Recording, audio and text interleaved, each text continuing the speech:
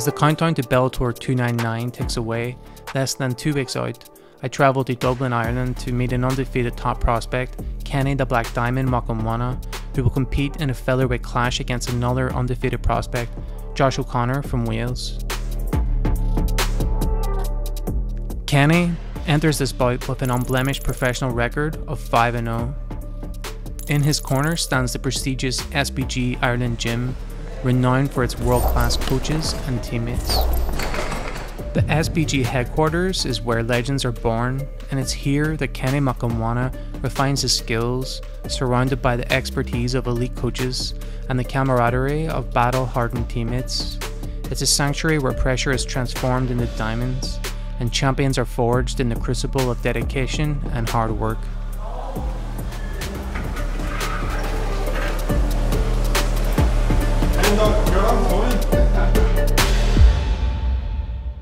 Supposed to look supposed to come in here again for the class. 20 minutes. 20 minutes before yeah. You sometimes I just rush on obviously but um like get warm. Obviously see what boys are getting doing. They're getting warm on the mats there getting stretched getting the body loose and then um get start the session start kickboxing session today. Is uh, kickboxing so yeah that's what we're doing today yeah, so like obviously now the little bit the last few hard spars and things like that, and then you kind of taper down and just go over what you would do in the fight, but nothing that's gonna be too hard on the body type of thing. You know what I mean? So you- you're you're about like you won by TK or punches, wasn't? Like Through uh, elbow. Yeah, yeah, yeah, yeah. yeah, that was nasty. Yeah. I didn't even think I hit him that hard. I was literally just trying to get back up. I was like, let me get back up. I was like, oh shit, his eyes were like, yeah. So I was like, yeah. Good shot. Good shot. You won. Half time. I'm bringing in guys. So, guys, now just trigger back. Kenny chose a kick. Chose a kick this side. He chose a body kick this side. Chose a body kick this side. Hey guys. Who just is trigger back Kenny this one. Mokhonoana? Um, I'm just a, just a regular guy. I'm Kenny Mokhonoana. I'm Kenny the Black Diamond Mokhonoana in here. Um, uh, just a regular guy from Dublin. I live in Blanchardstown. Uh, I'm training out of SBG. I'm 26 years old, and um, yeah, I'm just a guy chasing the, the dream. Like yeah, I used to I used to work in um, nine to five in in um, home store or more. Um, one day I just decided, nah, nah, nah. Let me just pursue, see if I can actually give this, put my all into this. But um, yeah, and and try and make a career out of this. Yeah, and here I am now. Yeah, like professional five and zero.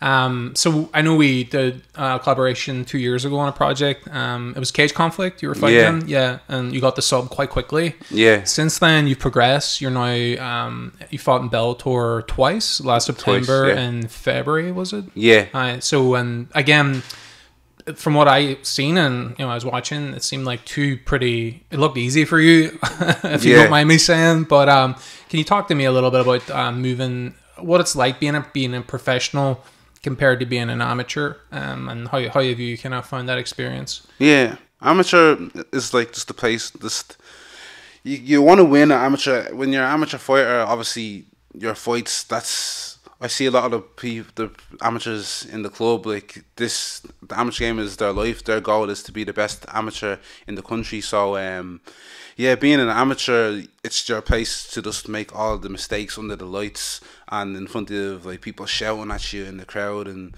and dealing with that. And then, obviously, when you get to an experience level, um, where you're fighting to a professional level, um, that's the time to make the jump. And then, um, yeah, a lot of things come with that. Learning how to weight cut, learning how to um, adapt in, in under pressure, and um, learn how to deal with the lights and being relaxed under the lights. Yeah.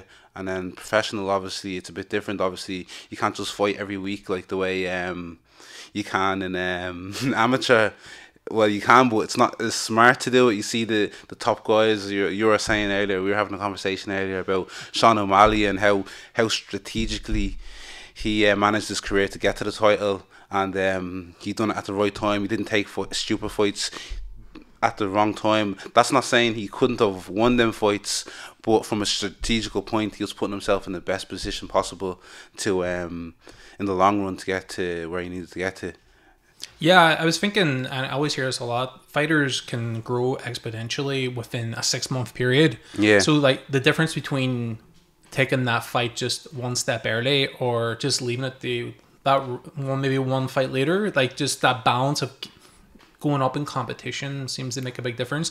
Like, what's it like training here in SBG? I mean, being in Dublin um, and kind of having coaches um, of this caliber, uh, a gym of this caliber, your peers, uh, high caliber. I know I saw some epic, uh, really talented guys out in the this morning training. Yeah. So, do you want to just talk a little bit about what's it like being a part of this uh, the family and SBG? You were saying like my coaches, the difference between the six month gap and jumping in people, and it's it's not like someone learning uh, flying, spinning hook, hook kick or something like that. Like It's Mighty Mouse stuff. Yeah, it's like just the, the difference between you winning a fight would be keeping your hand here and here, like just to defend the punch, or getting your getting your head away, getting your head this off center line or something, something so small like that that can tweak that would make it uh, like a hard fight look so so easy. And um, I feel like in my previous fights in Bellator and that, um, it's the little tiny things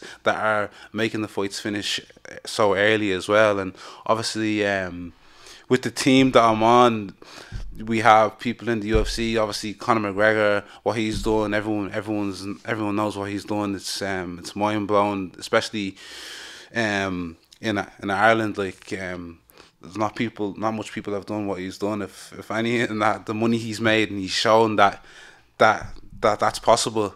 When um, a lot of people didn't believe, but now now a lot of people are uh, believing. Um, and not just that, obviously there's Brad Katona. He just won the TUF. Um, we've got amateur world champions. Um, and yeah, it's obviously being around that. Um, you want it's obviously inspiring for um someone like me coming up or someone seeing me knock someone out on Bellator, someone in the amateur teams. They're gonna, I like. It's not like maybe it's like there's definitely gonna be more amateurs, um, like from SBG coming up and being on Bellator, being on the UFC. So um, yeah, it's exciting and it's inspiring. I feel like we all get a boost off each other, seeing each other's success, and um, yeah, like um, may longer continue. Yeah, Yeah, yeah, Yeah. I think with someone like because clearly from what I've seen, like you have um, natural ability, uh, physically, mentally, but also that you're open and learning. And then I guess like having someone like you know John or John Kavanagh or uh, Coach Roche or like they've been at the highest level. I mean, McGregor changed the game. Like, Yeah. his mindset and having that wisdom from those experiences, and now you're also benefiting from that. Like, Yeah. and you're talking about these inches. It's interesting. I've never heard. I've never been close enough to hear about that, and I always hear about exponential growth in short periods in MMA. But but now it makes sense. I actually watched um, GSP and Bisping Lorde, and uh, he just like it was just an inch. He ducks and then left hook, and yeah. like, like that is insane. And- Even in slow motion. It looks it looks like it's luck, but that's from even someone throwing a jab like this, and and then Dave's telling you, Dave or John is telling you, get your head off the center. That's the difference between you getting knocked out and you staying here and and and winning the fight off off uh, off missing the punch. You know what I mean? yeah, So yeah, yeah. that all comes from drilling, but when and it's in the fight and you're like, oh, that nearly got him, but it looks like look, but. When he's drilling on the pads, he's getting out of the way on purpose because he knows that someone's supposed to punch in this direction, like naturally, you know. Yeah, yeah, and just putting the hours in, and Yeah. it becomes becomes like you take the on the flow. it comes a natural instinct because obviously doing when you see a punch coming at you, you're, most people that don't know how to fight are gonna be like this. But when you when someone's seeing the punch coming at them and they're like doing that, that's that's not a normal movement from someone throwing a, a knockout punch at you. You know. Yeah, yeah.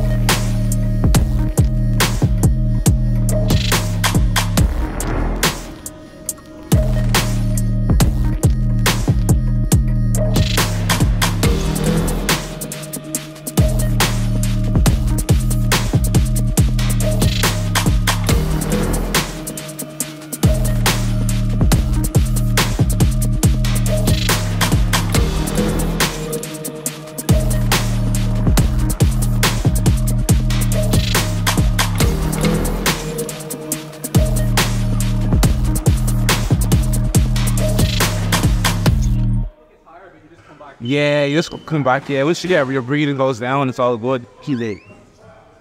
I'm just nosy. So what happens over here? Up here, um, sometimes grappling, sometimes just different battles. When the when the gym's busy, there's a class down here, class in the cage, another class in there, class in here. So sometimes the beginners will appear, the pros will be downstairs, like uh, vice versa. And You can just look at this house. This guy is the best steak guy in Ireland. He's the head chef at Fire Restaurant. Where is that? He's giving me his contact for steaks. So you're going to yeah, I know when it was uh, why why do you never do this when I'm not in camp? You know, it's the problem thing. You know? Yeah, man. These man, see, he's always forcing me into things. if it's not the gi, it's to get a barbecue. when I'm when I'm in the middle of camp, like. He went around it at the minute and he's shown inspired, and uh, I think he'll show that in the fight. I think I think he can beat the guy everywhere, you know. So it's just it's just uh, like he's five and zero now. So it's like, the, you know, well, the last five he's was he's had to win his last five fights. Four win the first round, is it? yeah. And one win the second. So I believe this is going to be something similar. But we're prepared to go the three rounds, you know. But he's more ready. I mean, there's no magic. So, you, you know, if Kenny gets like one or two things off in a fight, to me that's a big deal because it means there's improvements. So let's say he makes improvements every fight. By the end of the year or the end of 18 months after three fights, he's made big improvements. So I say to Kenny, like if he if he fought himself 18 months ago, he'd beat himself. So that's the that's the goal. Just you know, it was very satisfying. Yeah, it's very satisfying. Yeah. Well, I watched an interview recently you did with MMA UK. Yeah. So your upcoming fight, Bellator 299, September 23rd. Um, you're fighting Josh O'Connor, who's also unbeaten. Yeah. Um, and these are both like I guess hot prospects in the game. Uh, so I heard you say that you're going to school him. Yeah.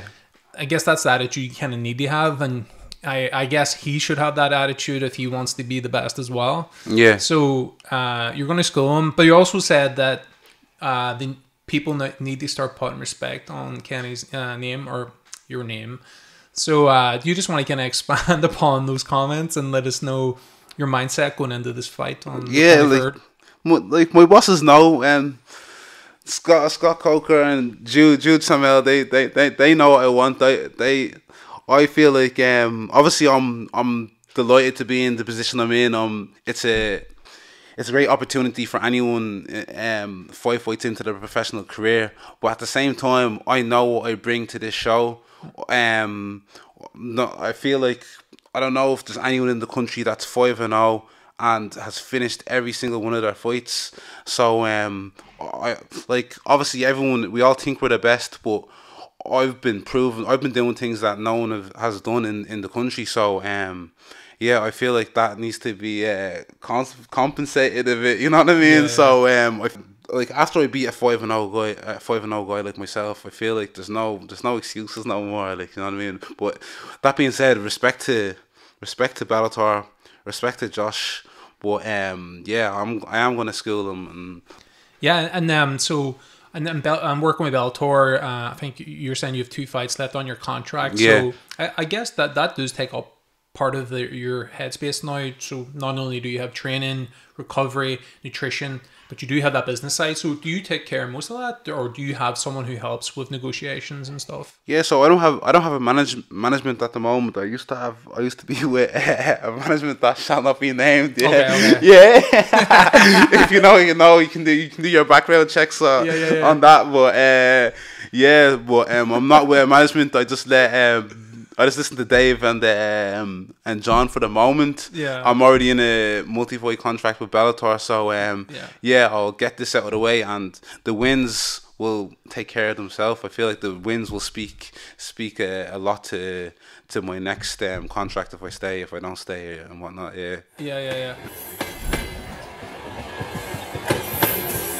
You're five and zero in your pro career, but obviously you've had a long amateur career before that. Yeah. So do you mind just kind of tell us about like what the journey you've been on from what You were saying like PE halls and gyms. Yeah. You know, at this arena. Yeah. So what's what's the journey been like? Do you want to describe a little? Yeah, obviously I started fighting um for about ten years ago. I started in yeah, obviously everyone at amateur level you're gonna fight in the local PE halls anyway that's cheap to rent for the promoter. Yeah, yeah. So like yeah, PE halls, um gay gaelic halls, whatever, hotels and uh, the la- the last time I was I wasn't in an arena, it was um it was outdoors. so um yeah, obviously you see we're in the 3Arena here now. Um yeah, so hopefully I don't have to go back to the head shit to the PE halls and, and that but uh, it's good it's good to see how far I've come. So is it see like going through the journey of being in these like little weird smelly places like, everyone's kind of lumped into one place it's i guess it helps the journey it helps move character build mental Yeah. strength and it gives you the full kind of gives you the full spectrum of what it's all about i guess Yeah, hundred percent. You don't really, you don't really think about it. You just think, oh, there's a cage, there's a rest to your opponent, and by the time you know it, like the locations just keep on changing. You get me? They get better. The, the, there's more lights. There's more like media obligations and things Yeah, like that. And yeah. by the time you know it, you're already here. You like, you just like, whoa, like, you don't even, you don't, you almost don't even notice it. so the the difference between fighting in say a, a local community hall versus Yeah. an arena you just the laser focus Yeah. it's just it's not that much of a difference for you really not that much of a difference. Wow. But uh, obviously, obviously now it's like you can see like the jump now from obviously last time where we were, but um, yeah, it's yeah, it's, it's cool when you actually stop and then look for a minute. You know what I mean? Yeah, yeah. Sometimes maybe when fighters fight in big arenas, they're going to a different city. Yeah. But being from Dublin, um, and fighting in your first arena in your home city, Yeah. does that make it extra special? Do you do you get slightly anxious coming out like, for the fact that probably all your friends and family are there? Yeah. Um. Yeah. Like, like I said, like obviously I'm from Dublin. Yeah. I live in Dublin, so um, a lot of times when we coming here for concerts to see whatever Drake is here or Yeah, yeah. whoever is here. So um, Have you- Kanye West or Have you been to another MMA event here as a fan? um, yeah, even in Bellator's. I've been to Bellator's here. Oh, I think I was here. The UFC weigh-ins when they're here. Like I think the last time they were here years ago. Yeah. I was there for the weigh-ins, and um, yeah, obviously to be in a place that I've obviously been a spectator so many times that is like it's yeah, it's cool. Like Yeah, yeah, yeah. yeah.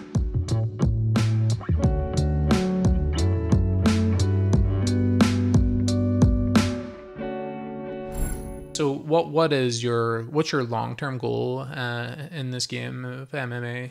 Obviously, everyone's object. Uh, most people, ninety percent of people's objective is um, obviously to make um, a living out of this. Obviously, um, I, I feel like you're Yeah. not you're like it's pretty obvious you're, pretty you're not you're not yeah. a journeyman like Yeah. you're, you're here to you're here to take care of business Yeah. and reach the top. But- can, you, can you just kind of describe though how you see it playing out? Um, do you do you think about that?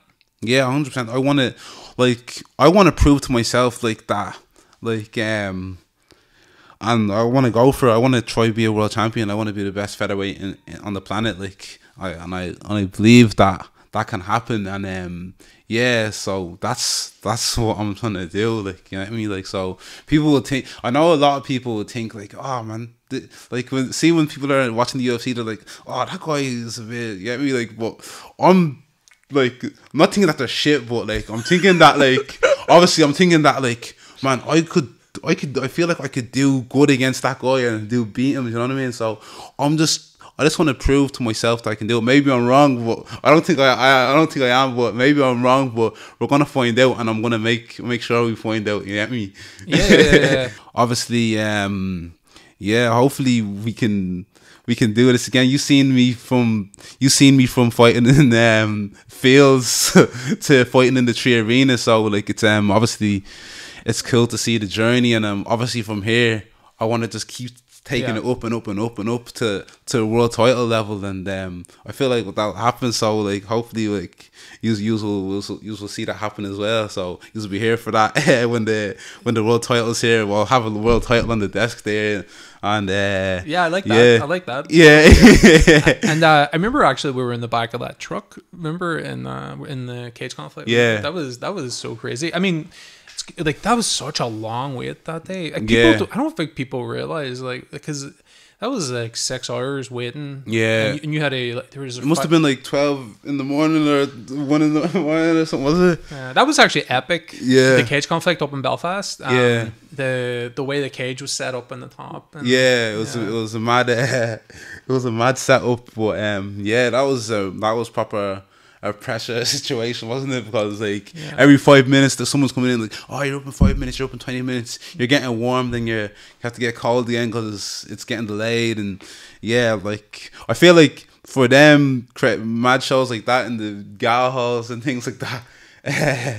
I feel like they're almost more um, nerve wracking than a Bellator because at Bellator now everything's so organized. Yeah, you have your time, yeah. and then that's that's you because they can't not like because you're on TV now. They have certain times that you have to be on it, and Yeah. you have to stick to them. So uh, yeah, it's definitely more. Um, obviously, them experience helped me now. Like Well, uh, cheers, Kenny. Um, looking forward to the fight. Um, no doubt you'll you'll be victorious. Um, I'm just kind of looking forward to see the advancements to the game that you're doing.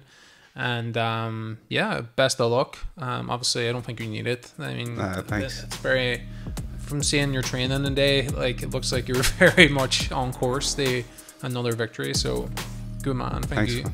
thanks, everyone.